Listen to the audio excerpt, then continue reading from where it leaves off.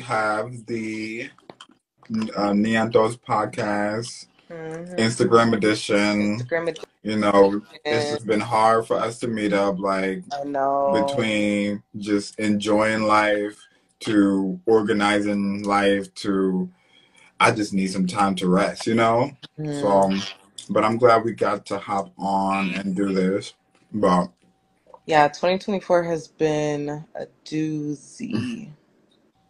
It's just been so much stuff. Like I just felt like you know we can't say we, we didn't know because Katt Williams said it. Katt Williams did say it. We can't Cat act like where's all this coming from? Why is it so? It started off mm-hmm. already mm-hmm. like mm-hmm. bullshit. So yeah, from the Katt Williams to the Mo'Nique situation, mm-hmm. the whole Taraji situation. Now we yeah. got Diddy, girl. Now we got Diddy. Yeah, I mean, honestly, like we was talking about before, like uh, celebrity culture, Hollywood, like it's coming crashing down. It's falling and down. I, I don't feel bad about it. I feel mm-hmm. like it's been a day late and a dollar short. Mm-hmm. And I just hope that we continue to talk about it. Because I mean, even I am getting to the point where it's like, oh, tired to talk about it. There's always something each week, mm-hmm. something happening. But then, you know, it's like, mm-hmm. but shit is happening. Mm-hmm. And I can't keep turning a blind eye on it. We have to keep talking about it because it's it's so horrible and like unfortunate. I'm just it's just so sad to know that like a lot of this is affecting the younger generation. Like the quiet on the mm. set, the Diddy. Mm. It's just it's so sick. It's I think you know, it needs to be said and needs to be brought to mm-hmm. light because it's gonna uh, avoid other people walking into the same yeah. trap. Same, and not so. trusting just because they got millions and billions of dollars. You should not be trusting them. You should not be trusting, you know, an organization just because they have some kind of status. That does not mean Mm-mm. That does not equate to no their one. ethics or their mm-hmm. morals. You mm-hmm. like? Did you watch The Quiet on the Set? I did not get. It's on Hulu, right? Mm. you know, I just got Hulu. I stopped stars, and I'm about to. So I'm okay. about to watch that definitely, but. I've heard a lot about it. I've heard it's, they only got the tip of the iceberg. I mean, mm-hmm. it's not even talking about. I mean, the big stuff. You know what I mean? Mm-hmm. Like it, it's really just getting into just you know some background and it's heavy mm-hmm. though it's very heavy it's yeah very, I, I, tell all of the trying to stay away from heavy like, stuff but take it with a grain of salt right. i wasn't gonna watch it i usually don't watch documentaries and true mm-hmm. stuff like like mm-hmm. true life stuff but i was talking to one of my coworkers and she put into perspective for me she was just mm-hmm. like you know because I was telling her, I was like, I grew up on this, and like my childhood, and I, you know, I don't want to know, like. But she mm-hmm. was like, you, you. That's even more reason why you should hear their side of the story because, mm-hmm. you know, these are the people who like influenced you, and you loved, you know, the Amanda show mm-hmm. and all that. All, like, you should hear their side and know, you know. And it's did true. you ever? Did Amanda ever say anything? No, she never. Oh, so not yet. So it's only four episodes. So they do it by episodes. Uh-huh. Um, they show Amanda Bynes all throughout, like clips of her, mm-hmm. relationship, mm-hmm. how close she was to this guy, and mm-hmm. um, well, how he was grooming her. See, even like how I talk about, I want to be more accurate. cautious. Yeah, mm-hmm. because these are kids that we're talking about. Not, she was yeah. close to know forty year old man. Mm-hmm. um. So yeah, it's like, so I know something big happened they didn't say they yeah. This is just hearsay right now. Mm-hmm. Okay. They didn't get all into it, but they've been showing clips of her um throughout the entire show, saying that like she was his favorite and stuff.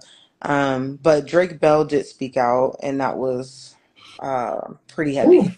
Was, I saw a little bit of his, and yeah, that was tough. Yeah, like, and how they just pushed you know parents out. They pushed a lot of parents and other kids who did speak out. It's not like no mm-hmm. one spoke out. People did speak out and they pushed them out. Like, mm-hmm. you know, they tried, tried, to turn them against their parents. Mm-hmm. They said that the kids aren't coming back, all because a lot of parents was like, hey, what's going on? Like, mm-hmm. you know, and they have registered sex offenders working, working, like behind the scenes. On, uh, no, but on set. On Most set. of the kids, yeah. They have two of them. It's crazy. I didn't know that. That that's that's what I'm saying. Was... Like they're they're planning. Yeah. Oh, and speaking of tying it to Diddy, mm-hmm. there is the clip of like Diddy was on all of that in 2000, early 2000s. Uh huh.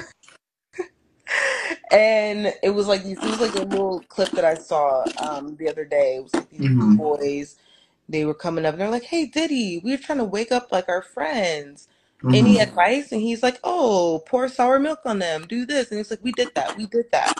He's like, "Oh, I know." And he gets like a helicopter, a toy helicopter. He's like, "Put this down their pants." down the boys' pants. So the kids go and do that, and the boys start screaming because they turn the hel- it's like a robotic helicopter, mm-hmm. and they turn it on, and it's in his pants. And I'm just like, you know, as a kid, you don't think anything of it. You're just like, oh, a little silly mm-hmm. game. Like, that's so crazy to do. Mm-hmm. But now it's like, like, with all this going on, I'm like, oh my god, like. I don't know. It's so crazy because it's like you also have to be in the period of more women speaking out. You know, Cassie spoke out about Diddy, and then we had the whole. She's really the one who started this. Yeah, yeah, like she's definitely the one that got this ball on the fucking roll because she's yeah. even in the. Um, she's gonna be testifying against him. Oh. Yeah. Oh. Yeah, Cassie's testifying against him. A few people are testifying against him, but you know, she started off all this during you know, last 2023, I think in November, when it was like the last time to file these situations. But mm-hmm. she posted, I mean, was she filed and she won the case, or not necessarily, they settled. They settled.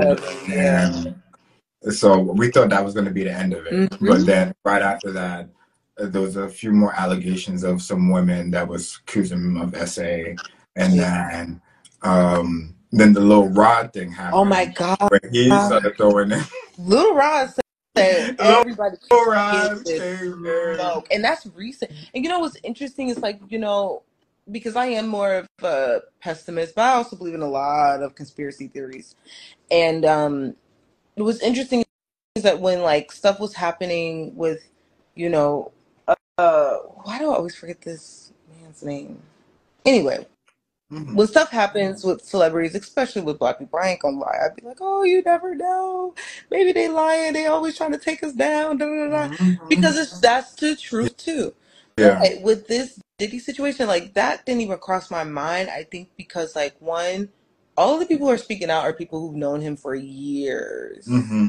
and like aren't doing horribly. You know what I mean? So it's not like oh they have you know they mm-hmm. need the money. They need to export. Like that's not really the case in this situation. Mm-hmm. And then also, it's like Diddy has a long history. Like I mean, a lot of people think he was, you know, um, the one who was like basically charging people or hired a hitman and killed mm-hmm. Tupac. And he also was like allegedly like shot someone else in the club, like another woman. Like this is all in like the nineties. But it's like he's mm-hmm. always doing some kind of like major mm-hmm.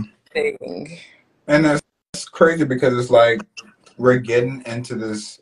I think I was telling the same before, where we're getting more conscious, we're getting more aware, and we understand. That's why people are more protective with their boundaries. Boundaries has been a big word last year and this year. Like, um, excuse me, I got.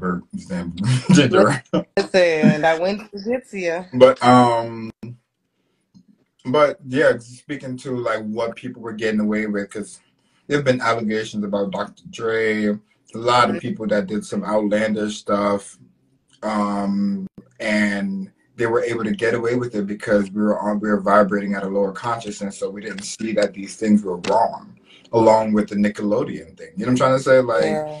we were vibrating at a different frequency, so we didn't put we couldn't put two and two together and say this don't feel right. Like, you know, yeah, this don't look right. This don't. Why my kids watching this? Like, they're it's, sexualizing it's, it's things. And, things coming to mm-hmm. light to be like, oh, mm-hmm. it's just